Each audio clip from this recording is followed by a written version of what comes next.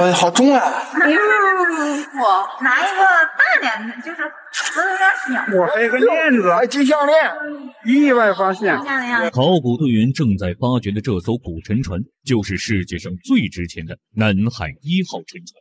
国家为了打捞这艘南宋沉船，历时三十年，耗资三十亿，直到今天依旧没有将船上的文物清理干净。目前，南海一号沉船已经出土了十八万件文物，专家估值至少值三千亿美金。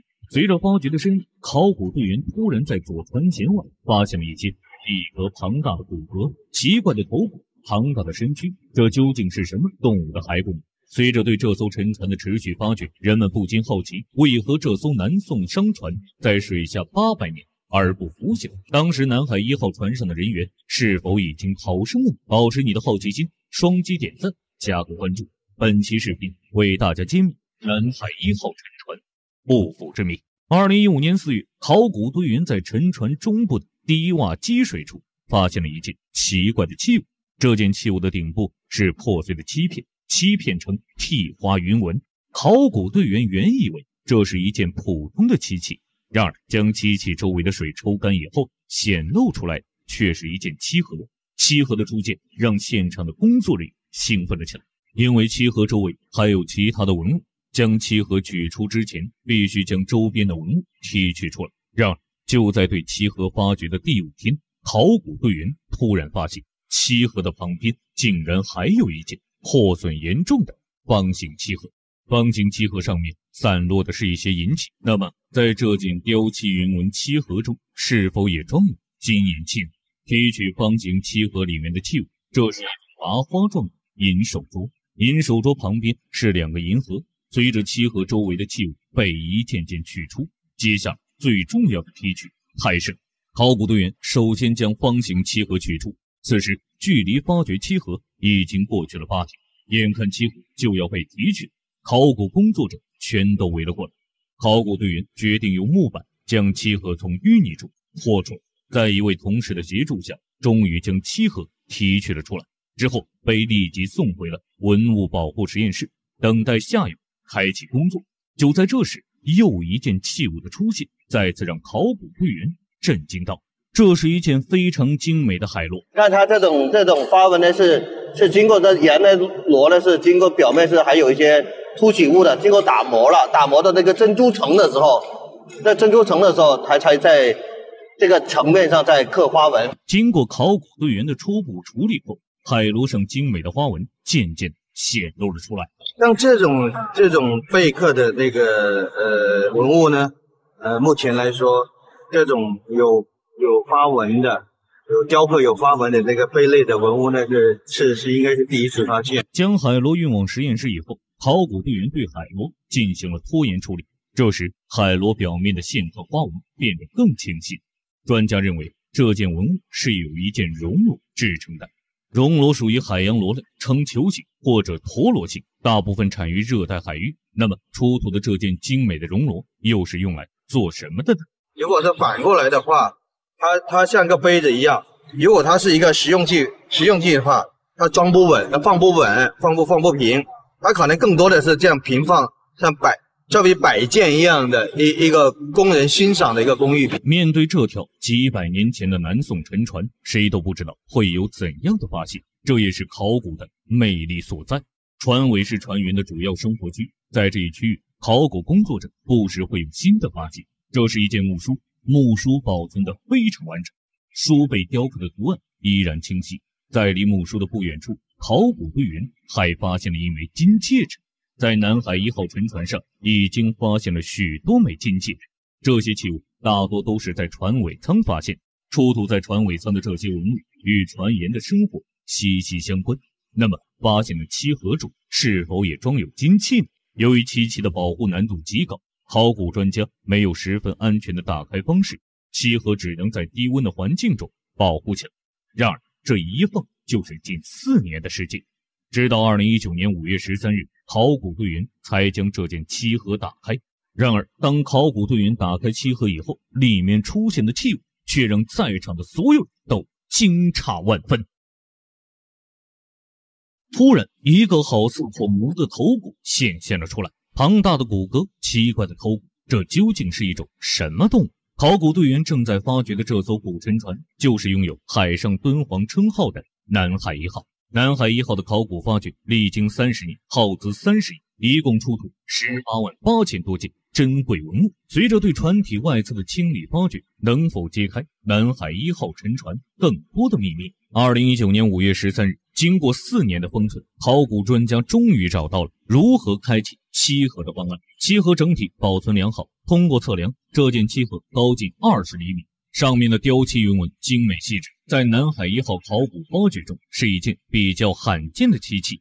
在此之前，考古工作者在南海一号沉船上同样发现了一件漆帘，漆帘里面装的是四十多件造型精美的金器，这些风格迥异的金器集中出现在一件漆帘中，这让考古人员们震惊不已。那么，这件漆盒中是否也装有金器呢？漆盒分为上下两层，随着漆盒的打开，第一层里面装满了淤泥。考古队员小心翼翼地将淤泥清理干净。当考古工作者清理完第一层淤泥以后，里面并没有发现任何器物。难道金器在漆盒的底部吗？当淤泥被清理干净以后，漆盒的底部出现了四个精美的圆形小漆盒，他们排列整齐，保存完好。然而，让所有人都没有想到的是，圆形小漆盒内依旧没有发现。任何器物，这究竟是怎么回事呢？难道这件精美的漆盒只是一个躯壳吗？考古队员从漆盒放置的位置和器型推测，这件漆盒盛放的很可能是女性用的胭脂香料。香料随着船体在海底沉睡了八百多年，已经溶解消失了。漆盒虽然被打开了，但是里面的文物却有些让人失望。然而，就在大家还沉浸在失望的气息中时，考古现场有了一个新的重大发现。考古队员在左船舷外的淤泥中，竟然发掘出来了一些非人类骸骨。更让考古队员疑惑的是，这些骸骨都集中出现在一个竹笼里，并且叠放在一起。就在大家感到毛骨悚然的时候，一个好似恐龙头骨的东西显现了出来。如果要这么大的胸骨的话，就像鸡胸那个地儿，两边是鸡胸。这个这个位置是翅膀。庞大的胸骨，身上还有翅膀。这究竟是什么动物？这是一个完整的鹅，比较完整。你看这有个额头嘛，说这个这个有个额头。我在想的话，可能它这个瘸子是吧？这刚好躺还躺了一只，这还有还还。那这个如果是嗯几个禽类的话，反正就是压就一块就死在这儿了。嗯，对啊。考古队员初步推测，这是一个盛放鹅的竹笼。这些鹅骨历经八百年，依旧保存完整。鹅骨位于船体的最深处，它们为何会出现在这里？那这个有没有可能后面绕进来？不可能这么深，掉不了这么深。在深的还还发现过其他东西是吧？不不，禽类来说掉不了这么深。你绕进去怎么绕进来？那除非是我们在船上吃，但是我们船上吃不可能整个一个鹅扔下去，对不对？有没有可能是后期后期渔渔民刚好？钓一个，那这个我们做一下探视次。还有一个疑问就是，笼子里面装的这些禽类，会不会也是出口贸易的货物呢？所以我们也发现，在船的呃左舷啊这个外侧有一些笼子，这个里边是装的是鹅骨。那到今天我们去西沙、去南沙，我们搭渔船去考察的时候，在船上仍然是这种方式，养一笼鸡、一笼鸭这样的，隔一段时间来进行烹饪，这样可以做到一个稳定的一个食物来源和结构，让它也不。提供一个就是很长的一个时间段的这种生生活资料的来源。鹅骨的出现让考古队员对当时生活在南海一号上船员们的饮食生活有了更进一步的认识。随着考古工作者对这一笼的鹅骨进行了整体提取，提取完鹅笼以后，考古队员在船体的中部外侧位置又意外发现了一件类似竹筐的物品。然而，让所有人都没有想到的是，当考古队员将竹筐周围的泥土清理干净以后，里面出现的金器震惊到了在场所有人。好重啊！我还有个链子，还金项链，意外发现，好重好重！哎呀哎呀哎呀！两斤。然后再把那坨泥再清清。又是一筐金器，这在南海一号沉船上不止一次出现。早在几年前，考古队员在提取漆帘的过程中，在漆帘里面清理出来了七十多件造型精美的金器。其中就有大量的金叶和带有明显剪痕的小金块。令考古队员疑惑的是，当时的人们为什么要将金子剪成一块一块的呢？啊，金叶那倒是传统，这是典型的中国的这个器物。这种金叶在很大程度上是反映了这个宋代的这种商品经济的一个很活跃，而且我们也能看到，像这个金叶上，它就是有这种这个剪切的痕迹。那就是说我可能用的时候，我要剪下一块来啊，这样的。南海一号是一艘民间贸易商船，经过近三十年的考古发掘，考古队员依旧没有将沉船上面的文物清理干净。然而，一些意想不到的文物总在不经意间被发掘出来。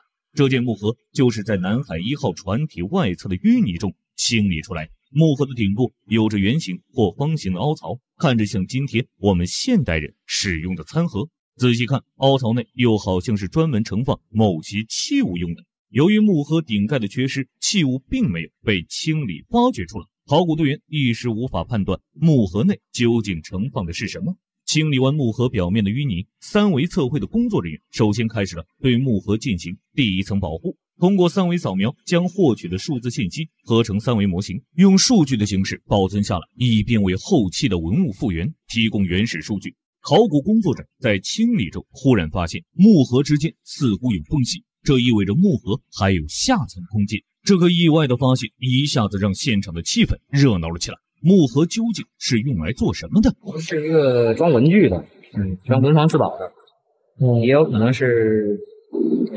梳妆盒一类的吧，这个这个还是得请那个领队来再看一下。古代的化妆盒通常带有开盖设计，而木盒并没有这个设计。从外形来看，它更像是盛放文房四宝的木盒。为了一探究竟，考古队员决定开启木盒。由于木盒在海水中长时间浸泡，木质结构已经松软。接下来的工作是如何将木盒的上层与木盒进行分离。考古队员通过前期细致的准备工作，木盒分层已有些松动，这让考古工作者产生了一个大胆的想法：将物体浸在液体中，借助向上的浮力将木盒进行分离。这个木盒究竟是盛放文房四宝的文具匣，还是女性盛放金银饰品装饰盒？随着木盒上半部分的分离，答案即将揭晓。就在这时，一件黑色的器物被发掘出来。质地与石头相似，形状奇特，经过清洗后乌黑锃亮。这难道是一块墨吗？然而，接下来的发现让考古队员彻底推翻了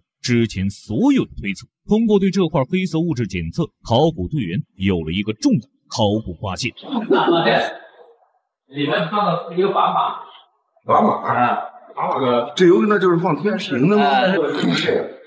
这是这样，你看这儿，这儿这儿还有口吗？那个圆的那个，对对对，呃，天平车在这儿，平衡杆在这儿，这样放。是是。而之前清理出来的那块黑色物质也有了答案，它其实就是一块试金石。通过对比之前出土的天平长度，发现天平与木盒中的凹槽相吻合。天平和秤在作用上都是称重衡器，唯一不同的是，秤测的是物体的重量，天平测的是物体的质量。然而，通过对这件天平进行分析，考古队员发现这件秤并不是来自中国。天平在考古发掘中并不常见，这种国外的称量工具在南海一号上出现，意味着极有可能有异国商人在船上生活。随着天平清理完成，考古工作者将对天平内的器物进行拍照留存，为以后的文物整理与保护做充足的准备。从二零零七年南海一号完成整体打捞，正式运水晶宫。到二零一九年，历时十二年的保护性发掘，南海一号船舱内部的清理工作即将结束。然而，有关这座南宋古沉船上面的诸多谜团还没有被破解。比如，为何这艘南宋商船在水下历经八百年而不腐朽？当时南海一号船上的人员是否已经逃生了呢？随着发掘的不断深入，考古队员终于揭开了南海一号沉船不腐之谜。八百多年前的一天，这艘满载货物的商船出于某种未知的原因沉没了。可谁都没有想到，多年后南海一号竟奇迹般的保存了下来。那么，南海一号是如何保存下来的呢？答案就藏在这儿。曾给考古队员造成极大困难的淤泥里，千百年来上下穿海域的泥沙，在海底沉积处厚厚淤泥层。南海一号在沉没后不久，海底的淤泥便迅速将船体掩埋，创造出一个厌氧的环境。你把它埋在淤泥下面那部分，它是完全一个低氧或者无氧状态的，呃，船躯是没法存活的。所以那木头就保存下来了。就埋得越深，保存的越多。原来南海一号之所以能保存到今天，全是因为这些淤泥的功劳。淤泥虽然保存了南海一号，也将它隐藏了起来。由于淤泥的覆盖，沉船难以被声纳发现，这也导致专家苦苦寻找了十余年才找到。随着近几年对南海一号的考古发掘，考古队员只在沉船上发现了一筐额骨。却始终没有发现古人的遗骸。那么，南海一号沉没时，船上的人员是否已经逃生了呢？通过出水大量的金银首饰、金项链、金戒指等贵重物品，且这些金器绝大多数都是饰品，专家推测，金器不会是远洋货，很可能是船上富商所佩戴。如果富商在南海一号沉没之前及时逃生了，他们是绝不会将随身佩戴的金银首饰全部抛掉，所以专家推测，船上的船员很可能随南海一号葬身大海。你对这艘世界上最值钱的南海一号有什么看法？欢迎留言讨论。好了，本期视频到这里就结束了，咱们下期视频不见不散。